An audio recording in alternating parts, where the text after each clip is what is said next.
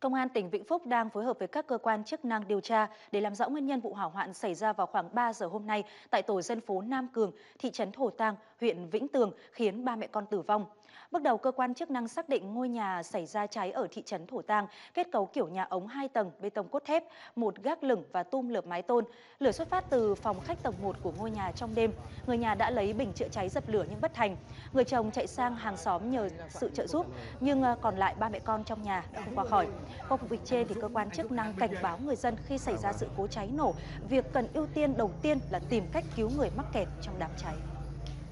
Do ảnh hưởng của những đợt không khí lạnh liên tiếp cộng với địa hình núi cao, trong những ngày gần đây, thời tiết tại các tỉnh Tây Bắc nhiệt độ xuống thấp, rét đậm rét hại ở vùng cao, liên tục xuất hiện tình trạng sương mù dày đặc, nhất là vào sáng sớm và chiều tối, tiềm ẩn nguy cơ mất an toàn giao thông. Ghi nhận trên tuyến quốc lộ 6.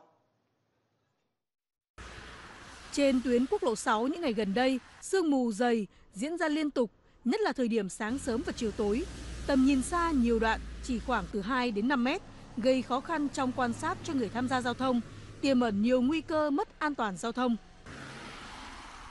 Cái cung đường Tây Bắc này thì mùa mưa, mùa sương mù thì rất chi là nguy hiểm. Một số anh em đi là cũng hơi ẩu, đi nhanh, đèn đóm thì người thì không bật cảnh báo, người thì sáng quá. Thì đi nó cũng rất nguy hiểm.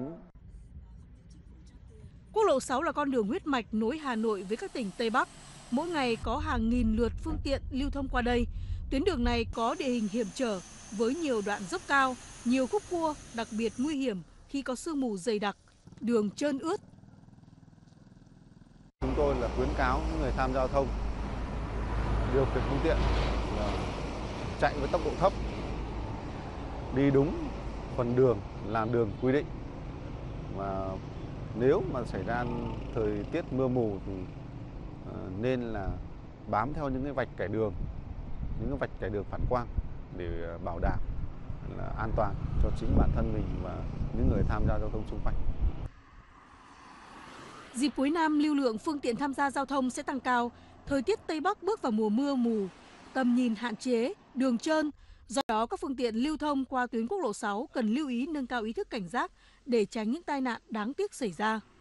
Việc hình thành hệ thống giao thông thông minh là lẽ tất yếu của một đô thị hiện đại. Việc hình thành hệ thống này giúp các đô thị quản lý, điều hành hoạt động giao thông trơn tru, an toàn hơn. Tuy nhiên, hệ thống này chỉ thực sự phát huy hiệu quả nếu có sự thay đổi về nhận thức trong cách quản lý cũng như cải thiện hệ thống hạ tầng giao thông hiện có. Đây là một trong những ứng dụng hệ thống biển báo thông minh sử dụng ứng dụng trên nền tảng trí tuệ nhân tạo AL, phân tích, xử lý hình ảnh bằng camera, mục đích để đo đếm lưu lượng phân loại phương tiện nhận diện biển số và cảnh báo phương tiện quá khổ trên địa bàn thủ đô Hà Nội. Tôi thấy ứng dụng đếm xe này rất là hợp lý vì ờ, có như thế thì cơ quan quản lý giao thông mới có thể hình dung được ờ, ra cái hạ tầng nó đang yếu kém như thế nào. Trước mắt là tập trung ở Hà Nội và Thành phố Hồ Chí Minh. Đấy, đấy thì từ cái việc mà mà đong đếm được cái lượng phương tiện, lưu lượng phương tiện thì chúng ta sẽ tính được cả cái chu kỳ đèn để chúng ta cũng tính toán được cái bố trí cái lực lượng cái phương tiện đấy, để ờ, làm sao mà giảm thiểu một cách tối đa nhất những cái hậu quả do cái ùn tắc gây ra hơn 5 triệu ô tô,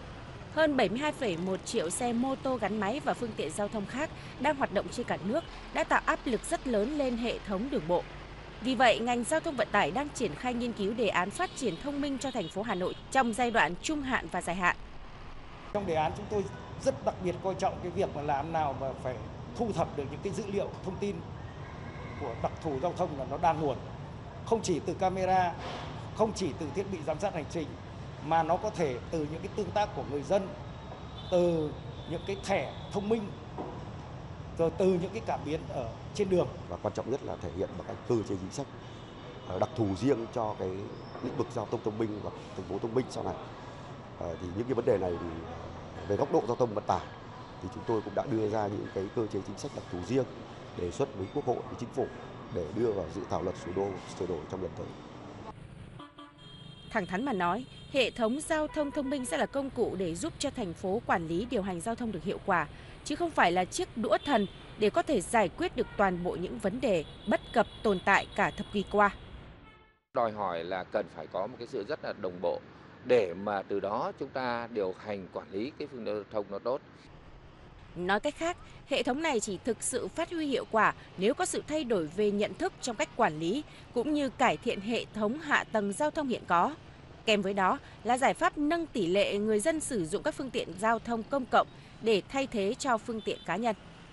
Theo thông tin mới cập nhật từ Bộ Tư lệnh Vùng Cảnh sát Biển 3, tàu Cảnh sát biển 8005 đang tích cực tìm kiếm 5 ngư dân trên tàu cá Phú Yên mất tích do gặp nạn trên vùng biển Khánh Hòa. Trong đêm hôm qua và sáng ngày hôm nay 24 tháng 12, vì thời tiết trên vùng biển Khánh Hòa diễn biến xấu, sóng to, gió lớn, việc tìm kiếm gặp nhiều khó khăn, nhưng tàu Cảnh sát biển 8005 của Bộ Tư lệnh Vùng Cảnh sát Biển 3 và các lực lượng vẫn đang triển khai các hoạt động tìm kiếm khẩn trương ngư dân bị nạn. Tàu cá mất tích là của ông Trần Văn Hiệp, 51 tuổi, trú tại tỉnh Phú Yên. Theo thông tin ban đầu, tàu cá đi đánh bắt cá ngừ đại dương đang trên hành trình từ vùng biển Trường Sa trở về cảng cá Phú Yên. Khi đến vùng biển cách mũi đôi 2,7 hải lý thì tàu bị phá nước và chìm. Lúc này trên tàu có 5 người và thuyền trưởng đã phát hiện đã phát tín hiệu cấp cứu khẩn cấp nhằm tăng năng suất khai thác đánh bắt thủy hải sản, đồng thời tăng cường mối đoàn kết gắn bó tương trợ của ngư dân trên biển. Thời gian qua, Ủy ban nhân dân các xã phường ven biển thành lập nhiều tổ tàu thuyền đoàn kết và hoạt động gắn kết của các tổ đoàn kết tàu thuyền đã giúp bà con ngư dân chia sẻ, giữ vững ngư trường, sẵn sàng hỗ trợ nhau khi gặp bất chắc khi đi làm ăn trên biển. Ghi nhận của truyền hình Quốc hội Việt Nam tại tỉnh Bình Định. Ra khơi mùa mưa bão, ngư dân Huỳnh Trương Thường cùng các thuyền viên luôn chú trọng trang thiết bị kỹ thuật đầy đủ, hoạt động ổn định, nhất là phải đảm bảo kết nối liên lạc thường xuyên giữa tàu với lực lượng chức năng và các thành viên trong tổ đội nghề cá đoàn kết phường Ngoại Thành. Khi đi không ai đi với mình, đi lúc nào mình cũng phải đi một mười mười mấy chiếc mình sớm rủ nhau mình đi chứ không có ai mà đi một mình đó. mình đi trên biển thì nó có cái sự ờ, quan tâm với nhau mình ra ngoài biển có một ví dụ như bị trục trặc gì hoặc gì cũng có anh em và có đồng đội hỗ trợ để giúp đỡ cho mình về tới bờ được tổ tàu thuyền đoàn kết phường Ngoại Thành hình thành theo nguyên tắc tự nguyện cùng nhau hợp tác sản xuất hiện tổ đội có hơn 10 thành viên tham gia bình quân mỗi năm một tàu cá của tổ đội này khai thác khoảng 35 tấn hải sản Ưu điểm của mô hình liên kết đánh bắt sản xuất này là tạo được sức mạnh trong khai thác thủy sản, hỗ trợ nhau lúc hoạn nạn, khó khăn trong quá trình khai thác đánh bắt.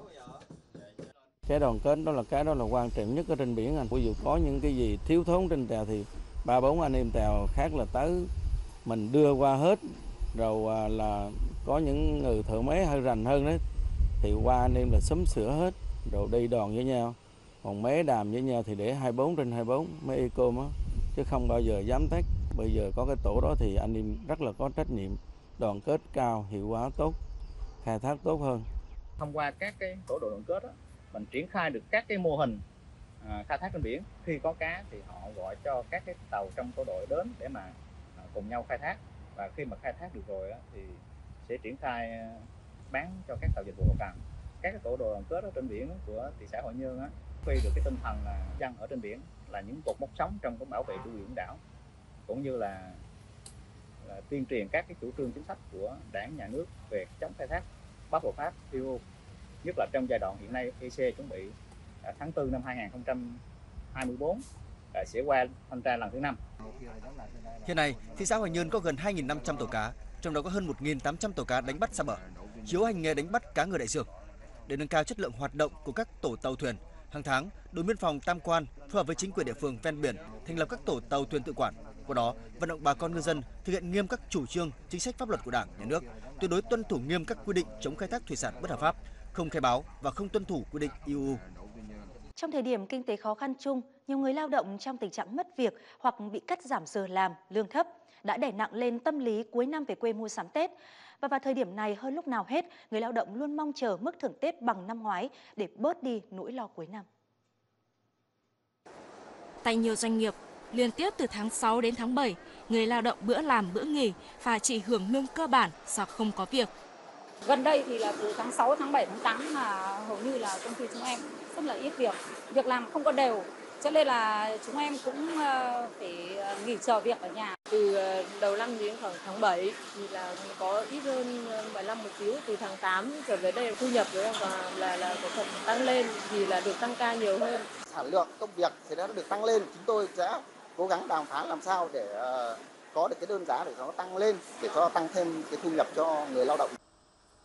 Sau một năm kinh tế ảm đạm, doanh nghiệp khó khăn, lương bình quân của công nhân cũng giảm đáng kể so với mọi năm.